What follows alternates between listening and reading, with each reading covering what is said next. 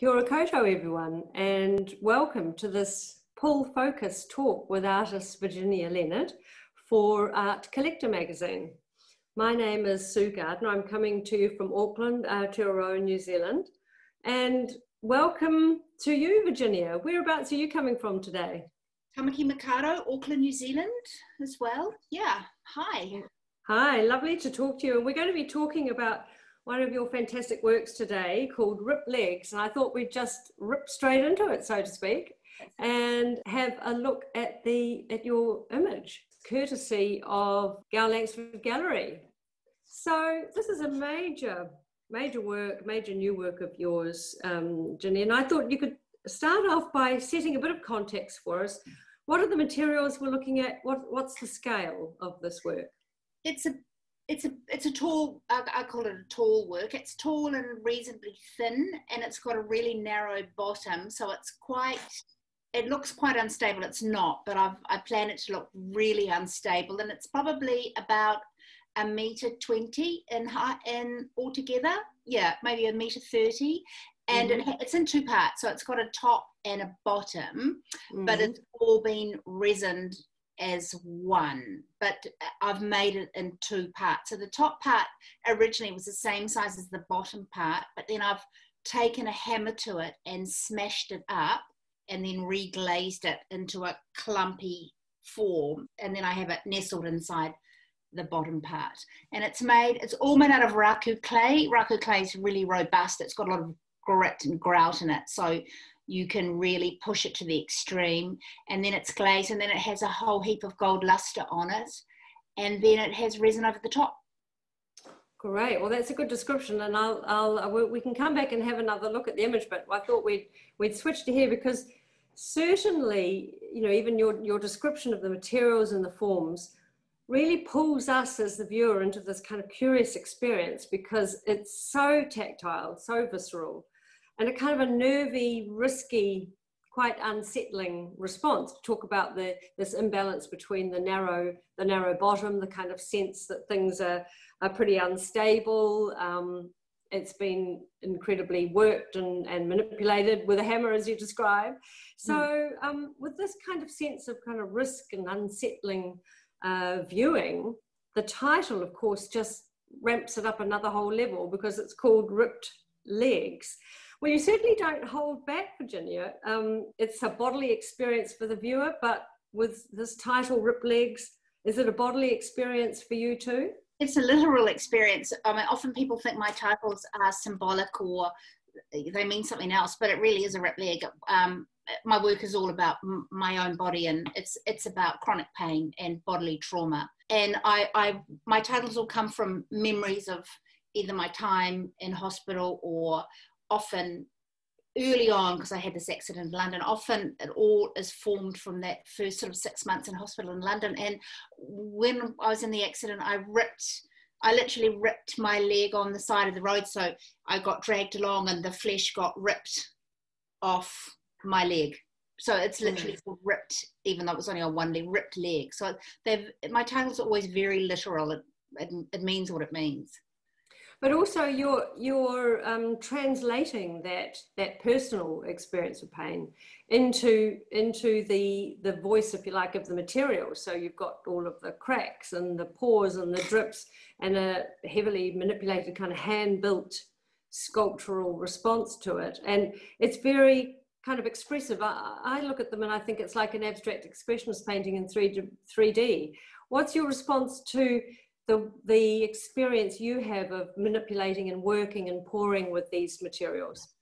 I think I probably work on them in a really similar way as the early American abstract expressionists, which is that I'm kind of most interested in that period of art than in any other period of art, especially in that painting realm. And I do work in the same way, whereas I don't think particularly hard about the outcome of what I'm doing, which is, I think, probably quite unusual for sculpture.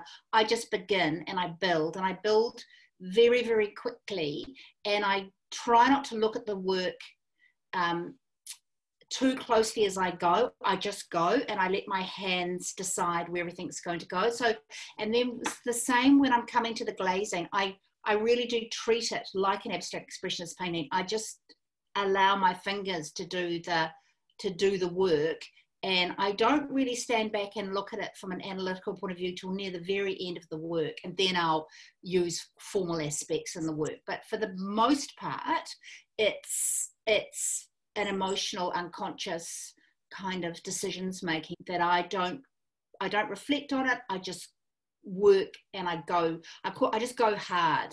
Really, I just go hard. But in a way, when, when you're talking about this reference, or right from the very beginning of your art practice, thinking about your experience with pain, how do you find that that experience impacts on the work? I think you talk about the idea that you're going hard, you're going right into it. It's a very in the moment experience for you, like a lived experience with yeah. the materials. Is that how you feel in terms of its impact for you? I think there's more than one level on how I treat the, the I mean there's a there's a practical level whereas I go into the studio and the harder I work, the less I think about my own body. So my mind's mm. taken away from what's going on inside my body at the time. And that's just a practical thing. And I think a lot of people that suffer from chronic pain would share this similar experiences when when you have a purpose or you're uh, in that moment you can disassociate your body from from that pain and just do the work mm. but then I, I think that i just naturally that language of chronic pain is so instilled in me that if the work is looking really even and structurally sound, I will always take a hammer to it and break it up and make it uncomfortable and make it uh, cracked and pointy and shard like because that's that that's my language because otherwise I can't express what I feel in my body because chronic pain doesn't have a language. It doesn't have a voice. It, and it's very isolating a lot of the time. You know, I'm alone in this, and if when I'm in my studio and if I can make work about it, I can stare the pain in the face. It, the chronic pain is not my friend. You know, I do not mm. befriend it. I don't look for it. But if I can make work about it, I can push. I can just push it back and I can give it a language so I don't have to try and articulate it with words because you just can't. Mm. I'm going to click back to the image again so that our viewers can can get another sense now that you've described that so fully. From my knowledge of your work, Virginia, this work actually is more restrained in the use of color. Yeah. Uh, the, the use of the white glaze, uh, principally white and gold, but there's still a real sense of um, kind of sharp edges and things uh, in such a fluid state of mind. So the, the top part, can, looking at the image, can you tell us a bit more about the top part? Because to start with, the color is different. And are there added things in there apart from the clay? No, I'm look. Uh, this work it, it is quite white, which is quite unusual for me because I more is more in my world. I made yeah. this work during lockdown. I was very isolated when I made this work. There was no one around. I work mm. in an industri- my studio is in an industrial straight estate, and I was the only person in the whole in the whole area. So I was mm. alone. And I think I made this work sort of to pare back the color and make it as minimal. This is this is about as minimal as I can get.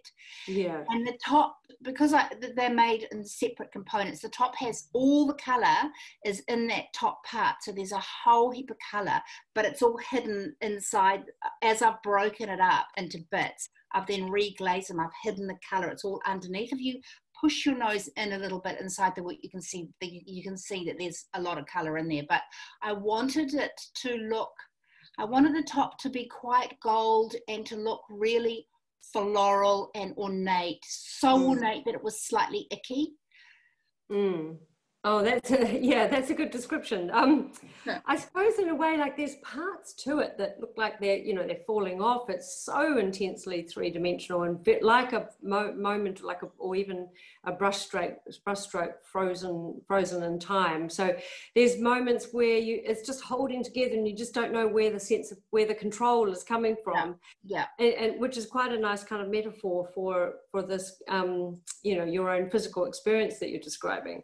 I kind of of wonder in the in the studio there who's controlling who? Is it the well that's the thing. Again it depends on how my body is behaving on the day. At the moment my body's not that great so definitely the the big work is controlling me. I don't have much control over it at all because i can't lift it at the moment. So i've got to wait for some poor unsuspecting person to walk past who can help me lift the work around because I'm just not that strong at the moment. But um, I, I really try and let the work control me. I, I, I really want the practice to, to, to control the theory.